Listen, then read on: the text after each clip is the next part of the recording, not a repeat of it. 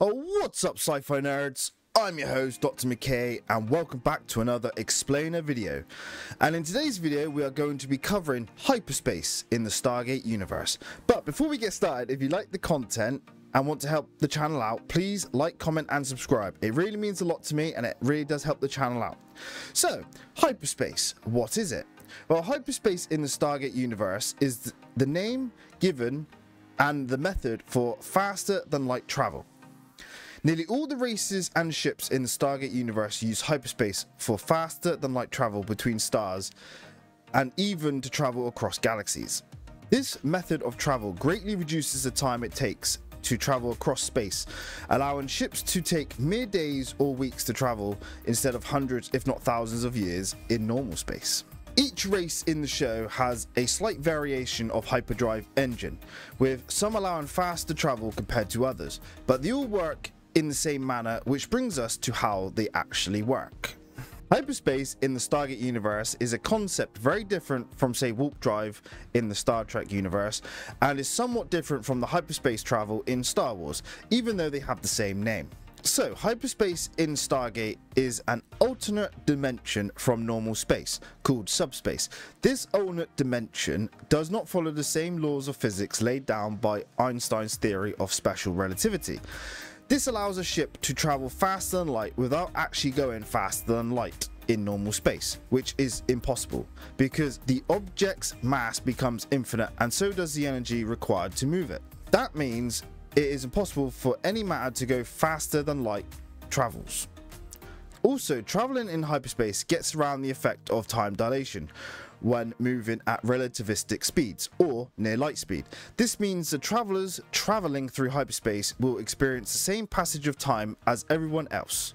Hyperspace also being a separate dimension doesn't actually interact with objects in normal space, like planets and stars, allowing for direct travel between locations instead of having to navigate around them an example of this is in SG-1 when they used a Tel'tak cargo ship's hyperdrive to move an asteroid through Earth, preventing a collision.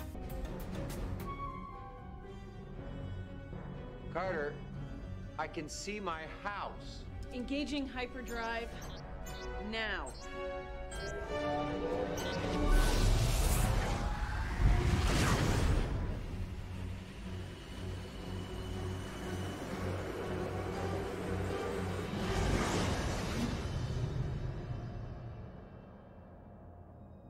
And they also use the F-302's hyperdrive to bypass Anubis' mothership's shields.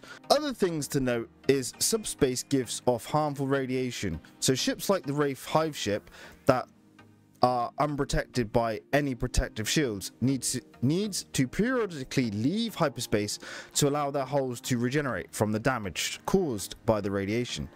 Other ships though that are protected can travel indefinitely without incurring damage from this radiation. Also, most ships cannot use shields or weapons in hyperspace and are vulnerable when entering and exiting hyperspace. This is due to the mass amount of energy required to maintain a hyperspace window, meaning most of the ship's power is occupied by this action, making shields and weapons temporarily unavailable at this time. Which brings us to how does a ship use hyperspace? Right, let's use the Daedalus for this explanation. So for a ship to use hyperspace, firstly it needs a hyperdrive engine. So with that in place, the ship then powers up the engine to create a window or commonly known as a hyperspace window. This leads into subspace. The ship can then fly into the window and enter subspace, allowing the ship to travel faster than light using its sublight engines.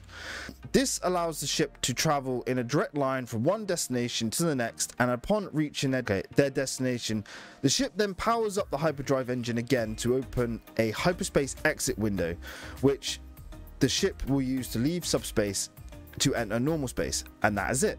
This is the method of FTL, faster than light travel, and is a lot faster and more efficient than most other sci-fi shows' is fast and light travel.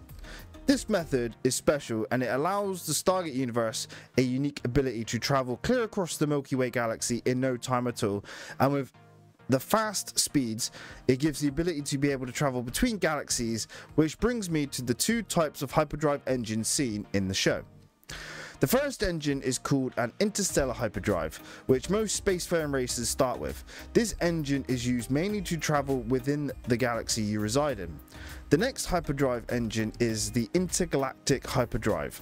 Like the name states, this more powerful engine allows the user to travel not only in the galaxy you reside in, but across the empty void encountered between galaxies to reach a neighboring galaxy.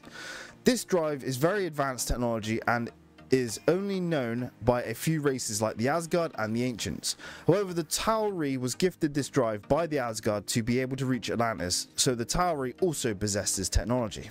Well, that's hyperspace explained. I hope you all enjoyed this video. Any questions, please do leave a comment below and please leave a like and don't forget to subscribe for more and to help me grow this channel. I've been your host, Dr. McKay, and thank you all for watching this explainer. And until the next video, I'll catch you all then. Cheers and goodbye.